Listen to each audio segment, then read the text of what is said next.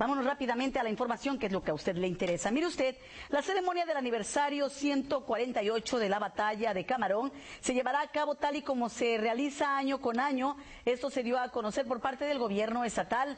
La importancia de este evento radica en que fue el sitio donde los soldados mexicanos acabaron con un ejército invasor que pretendía conquistar México y para los franceses que lucharon hasta el final, a pesar de las pocas probabilidades que tenían de ganar. Cada año, durante el 30 de abril, se realiza un pequeño homenaje donde autoridades francesas, legionarios franceses y bandas de música francesa se reúnen para hacer un parte de guerra, así como un homenaje a los caídos de la batalla en un mausoleo que fue creado en el centenario de la batalla, esto es en 1963. Así es que la ceremonia de Camarón de Tejeda sí se va a llevar a cabo tal cual está prevista el 30 de abril.